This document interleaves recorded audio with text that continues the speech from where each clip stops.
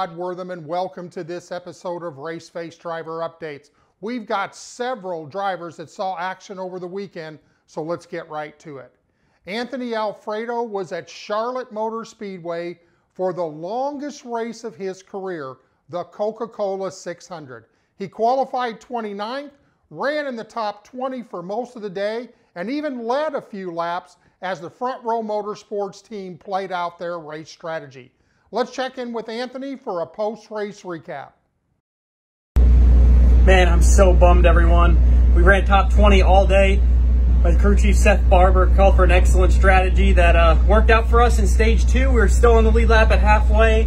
Uh, we're racing for uh, 19th, I believe, and on our final pit stop, I sped entering pit road. So, so frustrating. I hate that for all my guys at Front Row Motorsports because everyone did an excellent job all day. We had such a clean race going uh, doing everything right up until then. So uh, ended up P25, I believe. So top 25, but just to be that close to a top 20s, disappointing. So I got to uh, do some homework, study what I could do better to prevent that moving forward. But first, Coca-Cola 600 in the books, just unbelievable experience. So many fans here, so great. All the servicemen and women. This race is so much more just than just about racing. Just a true, incredible celebration of Memorial Day and those who uh, serve uh, our country and pay the ultimate sacrifice for our freedom. So thank you all for the support. Hope you enjoyed the race, and uh, we'll head out to Sonoma Raceway next week. Up next for Anthony, road course at Sonoma Raceway this Sunday. Sheldon Creed was also at Charlotte Motor Speedway for the North Carolina Education Lottery 200. Sheldon was fourth in Friday's practice in his newly sponsored Lift Kits for Less Silverado, but qualifying was rained out and Sheldon would roll off second for the start. He took the lead on lap one and led the entire first stage, earning him his first stage win of the year. Unfortunately, he was involved in an incident on lap 56 that broke the front left spindle, ending his day. Sheldon still sets fourth in points, heading to Texas Motor Speedway on June 12th.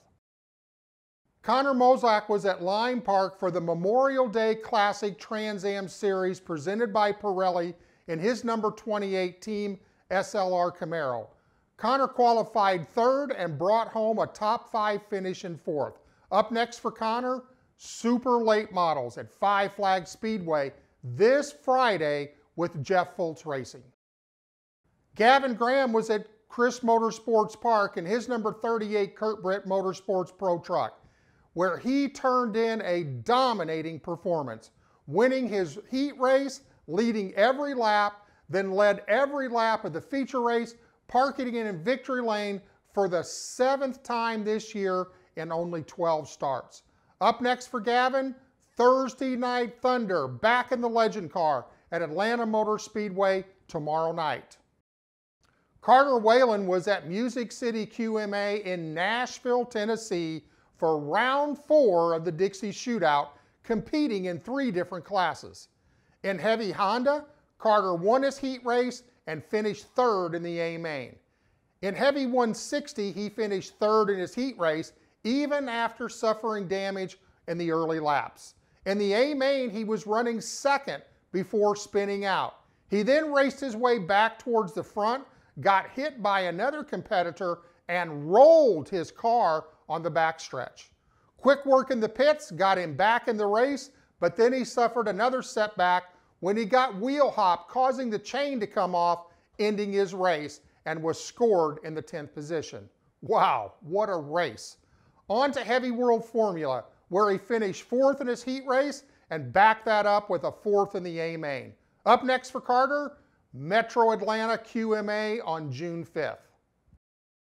Landon Cox was also at Nashville QMA for the Dixie Shootout, where he won his heat race in the Blue Rookie by leading every lap. He started second in the A main, but was involved in a lap one incident and suffered major damage that would end his day. Up next for Landon, Metro QMA on Saturday, June 5th. Both Cassidy Hines and Caden Honeycutt were scheduled to race, but were unfortunately rained out. Other drivers seeing action this weekend include Jesse Love, who will be at Sonoma Raceway for the ARCA Menards Series West on Saturday, June 5th. Joey East will make his road course racing debut at Sonoma Raceway in the ARCA Series West event on Saturday. Caden Honeycutt will return to the Cars Tour Series at Langley Speedway on Saturday. Joe Valento will also compete at Langley Speedway in the Cars Tour.